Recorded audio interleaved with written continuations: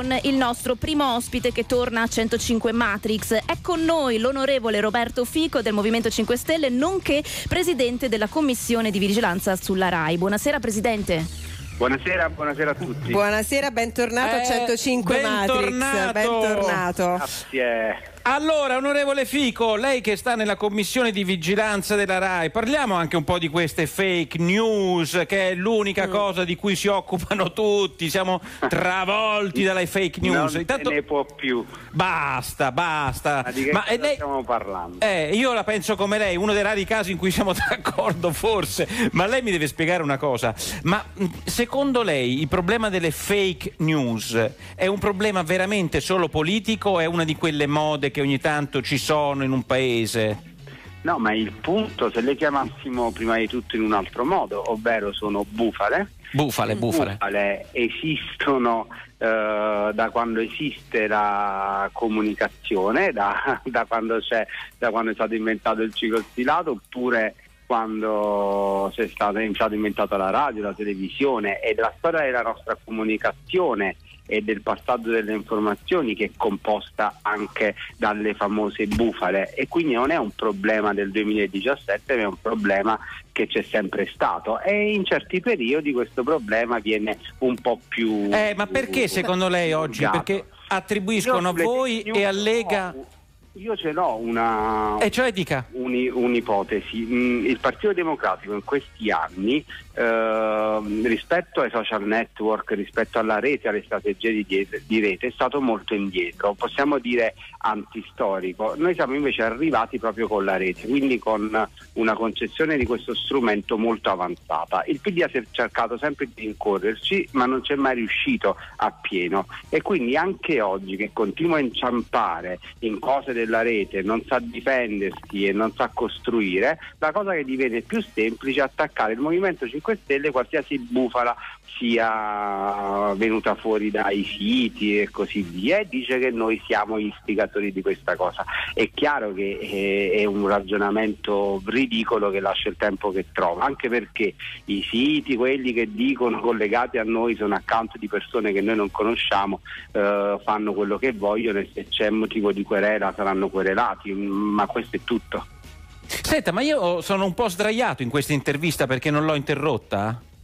Perché No. adesso i giornalisti devono essere, devono essere dopo Fazio, Vespa, tutti i giornalisti che non interrompono e non litigano con noi politici sono sdraiati, secondo lei, onorevole Assolut- Fico? No, assolutamente no. Il non interrompere significa ascoltare per poter poi fare una domanda anche più ficcante perché uno ha ascoltato bene la risposta. L'importante è non essere mai supini a un politico, ma esclusivamente ascoltare per poter rispondere poi al meglio e avere un dibattito che sia quanto più possibile costruttivo e interessante per E chi secondo, secondo lei, secondo lei, i giornalisti della RAI, adesso per esempio l'intervista fatta eh, a Berlusconi da, eh, da- da- da Fazio, lei eh, l'ha vista quell'intervista?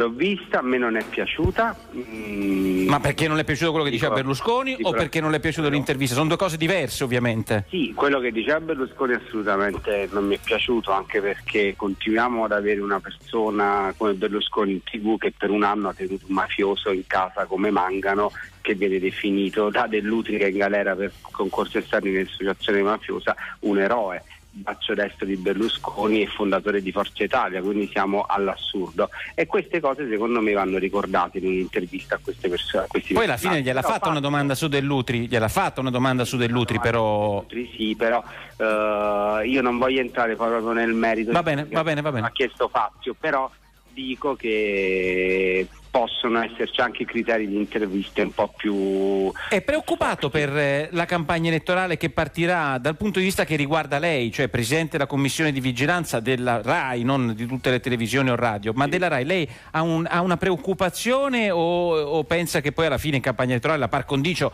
metterà tutti sullo stesso piano? No, io sono preoccupato, infatti già circa un mese fa ho chiesto ai vertici della RAI, eh, proprio alla Presidente Maggioni e al Direttore Orfeo di essere molto attenti già da subito, anche al di là della normativa che tra poco verrà eh, stringente della par condicio perché la campagna elettorale sappiamo che nel nostro paese inizia molto presto, possiamo dire che è iniziata e quindi già tenere la massima attenzione. Poi faremo la nostra delibera in commissione di vigilanza che attuerà la par condicio. Ma in un mondo che lei ha descritto bene e che secondo me è, è, è la fotografia di quello che avviene, cioè che la rete eh, ha milioni di persone e che il Movimento 5 Stelle anche forse solo per un motivo generazionale la rete la sa usare e la conosce, è, nel, è il nervo del, del Movimento 5 5 Stelle, a parte le battute, però siete molto sulla rete perché siete nati con la rete, ma lei veramente pensa che sia la televisione il luogo della par condicio quando ormai ovviamente abbiamo milioni di modi alternativi per poterci informare, onorevole Fico? La par condicio, io, alla par condicio io non credo più, non ho mai creduto in realtà perché ah, veramente? Sì, certo. Avere il giornalista che fa Uh, il, possiamo dire, il farmacista 10 secondi a te, eh, 10 secondi a lui, è un qualcosa che non ha più senso oggi nel mondo attuale. Io voglio ricordare però come nasce la par condicio nel 2000. N- nasce perché uh, avevamo un caso unico nel mondo, se non nelle dittature, ovvero che un presidente del Consiglio era anche proprietario delle televisioni tipo Mediaset ed era allo stesso tempo presidente del Consiglio e quindi in qualche modo controllava la RAI e c'era una sorta di monopolio. Per contrastare questo monopolio e la disparità di informazione nasce la par condicio per cercare di dare a tutti un tempo certo. detto, di parole equilibrato. Certo. Ora noi in, nel nostro paese purtroppo, e questo è una colpa della classe politica, non abbiamo mai affrontato fino in fondo e davvero il uh, conflitto di interessi, che ne abbiamo sempre parlato, ne hanno sempre parlato e non l'hanno mai fatto. Noi nel 2013 quando siamo arrivati in Parlamento la prima cosa che abbiamo presentato è il, la, una norma sul conflitto di interessi e la nostra non è mai passata perché era un vero conflitto di interessi. Sono passate norme molto più e oggi, e oggi... la situazione. Oggi noi eh. ci troviamo nella condizione che comunque dobbiamo avere la par condicio perché abbiamo leggi come quell'ultima del governo Renzi che dà praticamente la RAI al Presidente del Consiglio perché nomina l'amministratore delegato, allora a questo punto dobbiamo continuare ad avere questa legge che anche questa è antistorica, però tutela un po' tutte le forze politiche. Ma lei che gli frega di un passaggio del Movimento ma 5 Stelle io, al TG1 al TG2, no, Fico, ma veramente vi cambia la vita? 5 Stelle non mi cambia la vita, ma non è quello. Io in questo caso, uh, siccome sono il Presidente della Commissione okay. bicamerale di vigilanza, io devo tutelare tutte le forze politiche nel loro poter parlare nella televisione pubblica e allora faccio applicare la legge della par condicio, ma si deve superare è antistorica, devono superarsi le leggi, i modi in cui si formano i consigli di amministrazione della RAI, dell'Agicom, è chiaro che sono politicizzati, perciò dobbiamo riuscire a staccare definitivamente la politica dalla RAI, la politica dall'Agicom e così via. E così Onorevole Fico, ma per Berlusconi siete il primo avversario da attaccare, invece Salvini lo ha detto anche qua, continua a corteggiarvi, radio, sì. eh, l'ha detto anche qua in radio, non è che alla fine al posto del patto del Nazareno ci sarà il patto Lega Movimento 5 Stelle? Come lo no, chiamiamo? Il patto Lega 5 Stelle? Perché noi siamo lontani anni luce nei modi, negli atteggiamenti, da proprio lo strato culturale da dove proveniamo è, è diverso, quindi con la Lega non ci sarà mai assolutamente nessun accordo e nessuna convergenza eh, sui temi, anche perché eh, alla fine quando vai a prendere un po' i contenuti fino in fondo della Lega e non solo in superficie abbiamo delle differenze incredibili, ma soprattutto Salvini che vuole fare la persona nuova, eh, l'antisistema, si allea con Berlusconi che ha dentro al sistema da tantissimi anni e che è, un, che è, è condannato per frode fiscale ha molti processi a carico, ma al di là di questo, ma tutte le promesse che ha fatto negli anni, nelle campagne elettorali, poi come Presidente del Consiglio, non, mai, non, sono state mai realizzate. Un milione di posti di lavoro, il miracolo italiano, il contratto con l'italiano. È arrivata una notizia dell'ultimo... Tutte buffonate che stiamo ancora pagando oggi. Un'ultima ora, proprio di un ultimo secondo, eh, Berlusconi eh, andrà a processo a Siena per aver pagato, questa è l'accusa, un testimone. Stiamo parlando del Ruby Ter. Però, visto tutte le critiche che lei e che il suo movimento ha fatto al, a, a, Silvio Berlusconi e continua a fare, non pensa che c'è un'attenzione, eh, o proprio è contrario a questa idea che ci sia un'attenzione giudiziaria nei confronti di Berlusconi incredibile?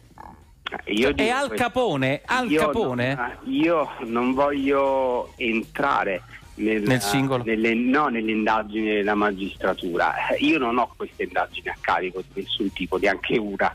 Allora non, non, non so se c'è un accanimento o meno, ma non è quello. Io dico che ci sono tanti lati oscuri, ci sono delle condanne, sono, c'è il braccio destro che è dentro per concorso esterno in associazione mafiosa perché eh, garantiva eh, soldi alla mafia e protezioni a Berlusconi. Berlusconi è una persona che si è tenuto un anno come stagliere falsamente, mangano e veniva definito un eroe. Ma stiamo parlando di gente che il paese non dovrebbe manco, neanche più candidare in una lista o di parte. la responsabilità è cioè, personale, però, è eh, onorevole Fico. La, persona, eh, la responsabilità è personale. Berlusconi Berlusconi non è stato condannato per questo motivo.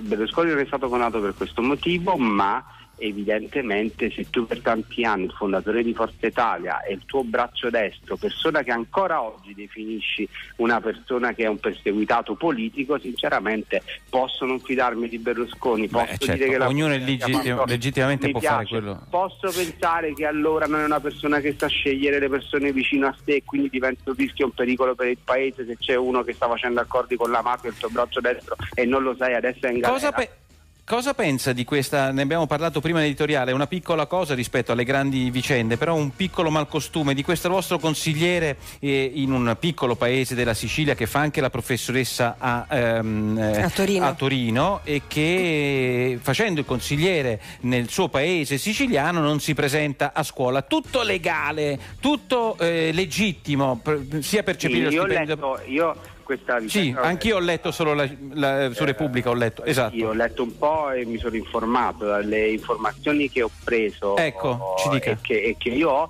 Il preside dice che questa persona è totalmente a fare richieste a norma di legge ed è il tempo sì. per cercare una supplente, non c'è alcun problema da quel punto di vista.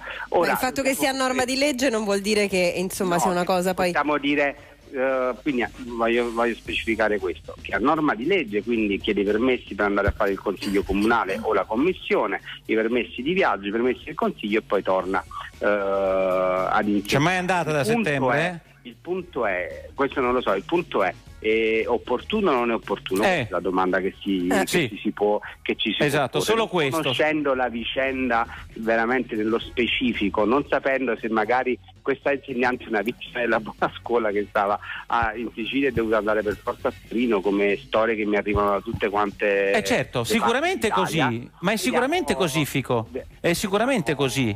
Vediamo un poco, però io direi proprio di chiedere alla diretta interessata alla vicenda perché non la conosco fino in fondo. Senta, è preoccupato dei. Voglio chiudere con un'ultima battuta, permetta, io sono stato in Rai per tre anni, lei era presidente Prego. quando c'ero, ma lei è preoccupato del fatto che Rai 1, la grande corazzata, la sera ha perso ascolti, che Giletti ne sta facendo un ottimo risultato sulla 7. Lei da presidente della commissione di vigilanza proprio della Rai, è preoccupato di questo andazzo o pensa che è una dinamica del mercato? No, io non sono preoccupato se si perdono un po' di ascolti, sono preoccupato se non si, se non si, si dà un obiettivo sulla qualità in tutti i programmi, sulla grande indipendenza e la forza di scegliere anche persone nuove per costruire una prospettiva totalmente e culturalmente diversa in RAI allora possiamo fare anche degli ascolti a volte più alti, certo. replicando dinamiche di cui non mi interessano e quindi sarei preoccupato tra virgolette anche di quegli ascolti. Io voglio una RAI totalmente diversa in alcuni settori, in molti programmi, nella condizione culturale, voglio l'accesso ai giovani, voglio che non esistano più le partite IVE. I giovani non li vedono più la televisione, onorevole Fico, sentono più la radio. Entrano in un network di comunicazione tra cui esiste anche il web, esistono le applicazioni nuove che la RAI può sviluppare, esistono trasmissioni okay. che siano interdinamiche interculturali. Grazie onorevole Fico, non l'abbiamo fatto Speriamo lo... che succeda. Non abbiamo Rai. fatto lo scherzo della canzone neomelodica e questo e per questo ci scusiamo. Volta. No, così dovrà tornare un'altra volta Deve in radio. Un'altra volta. Giusto, giusto. Preparato però Preparato, volta. Eh, non è Murolo, la prossima volta andiamo sul duro. Grazie all'onorevole Roberto Grazie, Fico. onorevole.